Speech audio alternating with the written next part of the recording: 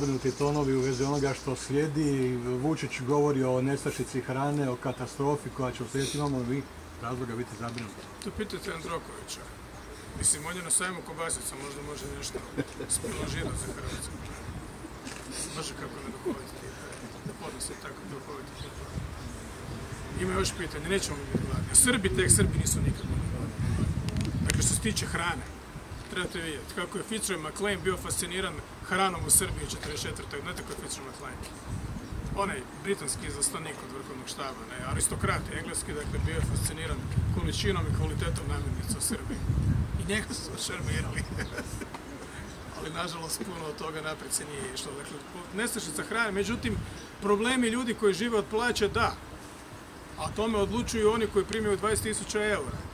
Da, Dakle, skuplja hrana, skuplji energenti, da.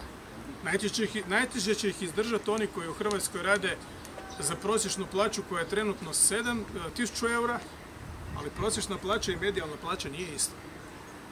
Prosječnu plaću čini i najviša i najniža plaća. Medijalna plaća je ono što prima prva polovica ljudi. Dakle, točna sredina. E, tu medijalnu plaću prima veliki broj ljudi, to je 5000 kuna i nešto. To nije 7,5. To je razlika. Prosjek čini i onaj ko prima 80.000 kuna bruto i onaj ko prima minimalac. Dakle, teško je. A o svim tim herojskim potezima novog doba i ratu sa Rusijom i šta ti ja znam kim sve ne i Kinom odlučuju ljudi koji su masno plaćeni i koji su u biti odrođeni. Dakle, za bit prirođen ili dio svog naroda ne moraš smrdjeti na luki janjetinu svaki dan. Mislim, ono, nije to kriterij naprosto biti svjesan problema u kojima prosječni ljudi žive ljudi u svom haustoru.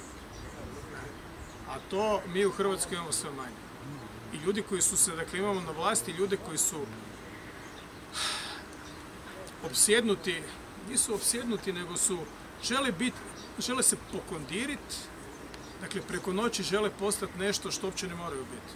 Neće im ništa donijeti, žele se integrirati u sustav kojih neće nikad prihvatiti. Dakle, Plenković će uvijek biti premijer iz neke male države. Ta mala država može biti ovakva i onakva, ali on nema specifičnu težinu, kao ni ja. I to razmetanje, ja sam bio tamo ranije.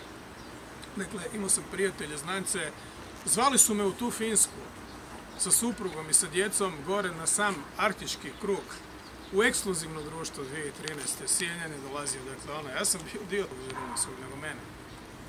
Ali šta? Dakle, dobro je, odeš jednom, pogledaš, vidiš otprilike šta tu ima za nas, koja je tu korist za Hrvatsku, nikakva, hladno, minus 30, vratiš se, na se skijati, nema planina. Vratiš se doma i ok, pristavan se s tim ljudima i onda kad ti treba pokušavaš to iskoristiti. Pa recimo, znaš ljude, pa ih pokušavaš animirati za hrvatski problem u BiH, fučka im se.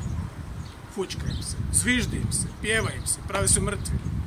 Evo sad su oni došli u situaciju da trebaju nas. Ali ako, ako, nije na dijelu zajedništva, ništa od toga.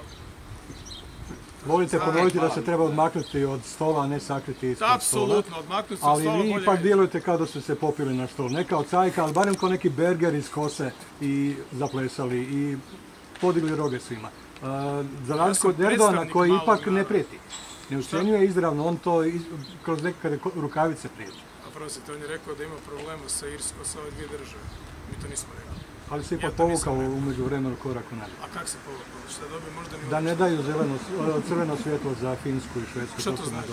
Protiv toga, ali ne da crveno. Mora biti za, a on je protiv. Dakle, on mora biti za, a nije još ni suzdržan, nego je protiv.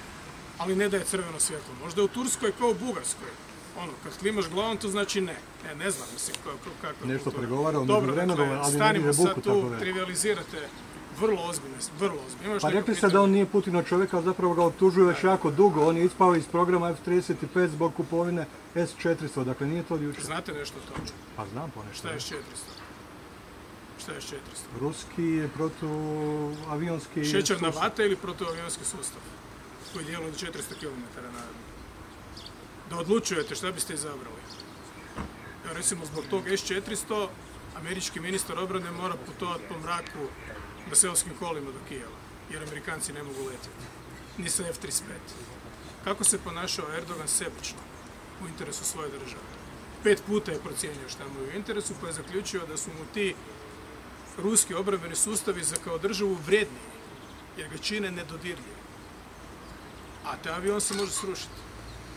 A opet nije one nevidljivi, potpuno. Kakve ruše Srbi. Dakle, kak se frajer ponašao lukavo za svoju zemlju, ni on na ledu. Ne može biti Turska na ledu, doviđenja.